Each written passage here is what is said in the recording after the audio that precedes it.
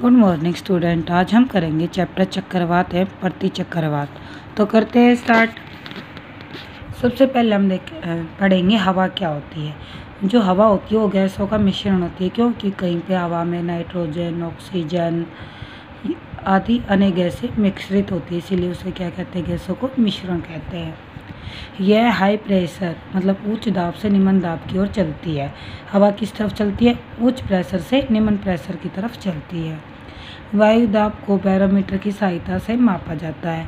वायु दाब को किससे मापते हैं? बैरोमीटर की सहायता से। बैरोमीटर बैरोमीटर में पारे का अचानक गिरना, तूफ़ान आने का संकेत होता है।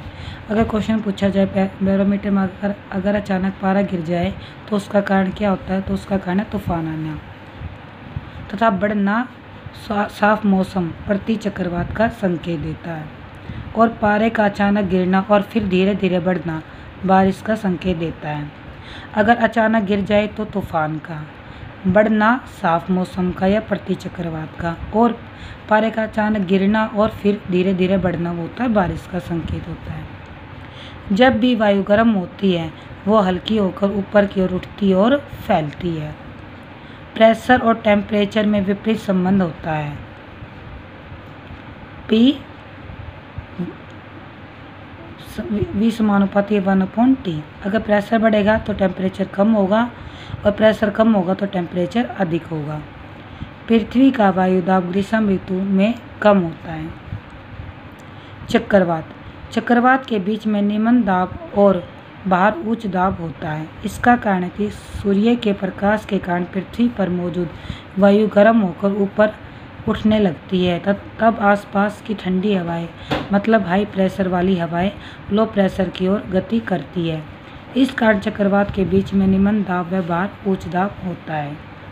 मैं दोबारा पढ़ते हैं। चक्रवात के बीच में निम्न दाब होता है और बाहर उच्च दाब होता है। इस कारण निम्न वायु दाब से हवाएँ जो होती हैं, वे उच्च दाब से निम्न दाब की ओर बहने लगती है। इसका कारण कि सूर्य के प्रकाश के कारण पृथ्वी पर मौजूद गर्म होकर ऊपर उठने लगती है और आसपास की ठंडी हवाएँ मतलब हाई प्रेशर वाली हवाएँ लो प्रेशर की ओर गति करनी, करती है। इस कारण चक्रवात के बीच में क्या होता है? निम्न दाब और बाहर उच्च दाब होता है। कोरियोलिस बल, पृथ्वी के घूर्णन के कारण वायु की दिशा में विक्षेप, डिफ्लेक्शन उत्पन्न हो जाता है। सबसे पहले इस विक्षेपण का अध्ययन जी जी कोरलियोलिस ने किया था। किसने किया था? कोरियोलिस बल का, कोरलियस ने अध्ययन किया था। इसीलिए इसका नाम भी क्या पड़ गया? कोरियोलिस बल पड़ गया। इस विक्षेपण बल को कोरिलोसिस बल कहा गया। उत्तरी गोलार्ध में गतिशील वस्तु अपने दाईं ओर मुड़ जाती है और दक्षिणी गोलार्ध में गतिशील वस्तु अपने बाईं ओर मुड़ती है। चक्रवात के प्रकार दो होते हैं। उष्ण कटिबंधीय चक्रवात और शीतोष्ण कटिबंधीय चक्रवात। सबसे ऊपर होता है हमारा उत्तरी ध्रुव, नीचे होता है दक्षिणी ध्रुव। सबसे मध्य में होती है भूमध्य रेखा, जिसको हम ज़ीरो डिग्री विश्वत रेखा भी कहते हैं। इसके ऊपर होती है कर्क रेखा, साढ़े तेईस डिग्री उत्तरी अक्षांश, साढ़े तेईस डिग्री दक्षिणी अक्षांश को कहते हैं मकर रेखा। इसके नीचे होता है साढ़े छियासठ डिग्री अक्षांश जिसको हम शीतोष्ण कटिबंधीय क्षेत्र कहते हैं। उत्तरी ध्रुव में होता है तो साढ़े छियासठ डिग्री उत्तरी अक्षांश को हम कहते हैं शीतोष्ण कटिबंधीय क्षेत्र। कर्क रेखा और मकर रेखा के बीच आने वाले चक्रवातों को उष्ण कटिबंधीय चक्रवात कहते हैं। जो करक रेखा और भूमध्य रेखा के बीच में इस क्षेत्र में जो आते हैं, उनसे हम कहते हैं उष्ण कटिबंधीय क्षेत्र। यहाँ जो चक्रवात होंगे, उसे हम कहेंगे उष्ण कटिबंधीय चक्रवात। इसके विपरीत उत्तरी और दक्षिणी गोलार्ध में पैंतीस डिग्री से पैंसठ डिग्री अक्षांशों के बीच वाले चक्रवातों को शीतोष्ण कटिबंधीय चक्रवात कहते हैं। बाकी जो यहाँ और यहाँ जो चक्रवात आएँगे, उन्हें हम क्या कहेंगे? शीतोष्ण कटिबंधीय चक्रवात। चक्रवात के दौरान उत्तरी और दक्षिणी गोलार्ध में हवा की दिशा कैसी होती है? उत्तरी गोलार्ध में होती है। जब भी हवा उत्तरी गोलार्ध में हाई प्रेशर से लो प्रेशर की ओर गति करती है तो अपने दाई राइट साइड और और मुड़ डिफ्लेक्शन जाती है। उत्तरी गोलार्ध में चक्रवात की दिशा एंटी क्लॉक घड़ी की सुई के विपरीत दिशा में होती है। यहाँ नीचे समझाया गया है। ये होती है उत्तरी गोलार्ध।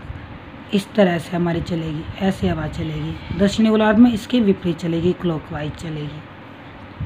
दक्षिणी गोलार्ध कोरियोलिसिस पर के कारण हवा लेफ़्ट साइड में मुड़ जाती है। हाई से लो प्रेशर चक्रवात के द्वारा तब वो सीधी जाने की बजाय लेफ़्ट साइड में मुड़ जाती है।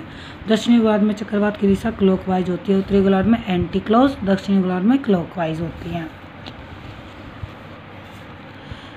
प्रति चक्रवात चक्रवात के ठीक विपरीत प्रति चक्रवात, एंटी एंड एंटीलाई क्लोन में निम्न वायुदाब को वर्ताकार रेखाओं के केंद्र में उच्च वायुदाब होता है। इस स्थिति में हवाएँ केंद्र से बाहर परिधि की तरफ़ चलती है। चक्रवात में तो क्या होते हैं? सारी हवाएँ अंदर की तरफ़ आएँगी क्योंकि बाहर होता है, हाई प्रेशर अंदर होता है, निम्न प्रेशर। तो बाहर से अंदर की तरफ़ जाती है। प्रति चक्रवात में अंदर तो हाई प्रेशर होता है और बाहर लो प्रेशर, इसलिए बाहर से अंदर अंदर से बाहर की तरफ़ जाती है। चक्रवात के ठीक विपरीत प्रति चक्रवात निम्न वायुदाब को वर्ताकार रेखाओं के केंद्र में और उच्च वायुदाब होता है। इस स्थिति में हवा केंद्र से बाहर परिधि की तरफ़ चलती है। विश्व के प्रमुख चक्रवातों के नाम चक्रवात।